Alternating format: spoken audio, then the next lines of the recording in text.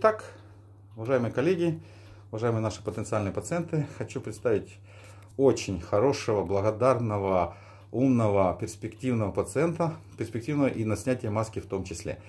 Кустов Роман Сергеевич, расскажите, пожалуйста, как вы к нам попали, что вас к нам привело? Э, были проблемы с повышенным артериальным давлением. Пытались выяснить причину в клинике Интесана, город Одесса. Вот. Сделали э, сонографию. Но, в принципе, основной был, основной был момент, что медсестры слышали громкий храп. И, и это передали моему лечащему врачу, невропатологу Наталье Павловне Щербине. Вот. И возник вопрос, что относительно того, что я страдаю апноэ. Сделали сонографию и выявилось, что да, действительно с этим проблема есть. Полисомнография? Да, да, кто-то говорил, давал рекомендации относительно удаления перегородки, корректировки. Вот. Мой э, лечащий врач Лор э, Безусов порекомендовал Юрия Несторовича как э, высокого уровня профессионала в этой области и заверил меня, что Выход хирургические есть. вмешательства ничего не дадут, что это будет потерянное время, здоровье и деньги. И в принципе я долго не тянул. Приехал в июне месяце в клинику Юрия Несторовича. И мы здесь сделали тоже диагностику. Диагностику, в принципе, недолго дома я понял, что, в общем-то, есть повод, так скажем, принять решение и спать в маске. Вот, приобрел э, СИПАП.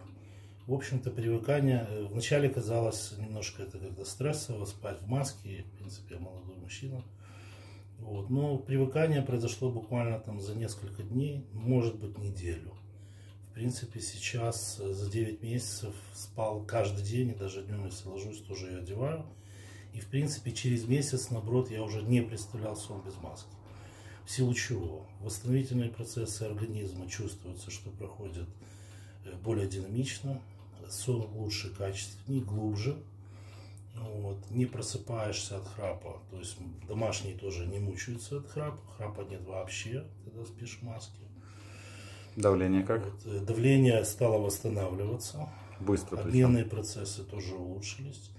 Вот, я занимаюсь активно спортом и, в общем-то, чувствую разницу э, и в плане восстановления мышц после физических нагрузок, также и нервная система, потому что я занимаюсь, ну, у меня достаточно э, крупный бизнес, э, который сопряжен, так скажем, с напряжением нервным, вот, поэтому сон как лучшее лекарство, в общем-то, стал восстанавливаться и улучшать мое общее состояние, соответственно, и мою эффективность, мою ХПД. Бизнес улучшился?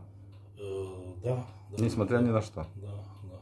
да. Но я еще дам рекомендации, как в период ковида активизировать свой персонал. Может быть, даже прочитаем вебинар для ваших э, сотрудников, чтобы наладить сон. Эффективность повысится на 50-70%. Травматизм, аварийность снизится на 30-40%. То есть вы уже как лидер в своем предприятии должны заботиться о сне своих сотрудников. Тогда и прибыль, и бизнес, все будет удачно. Пока не стоит задача снимать аппарат, сегодня мы проведем э, повторную полисомнографию, посмотрим. Но снимать, я думаю, вы пока еще сами не захотите. Пока не хочу. Килограммчиков еще 15 скинуть.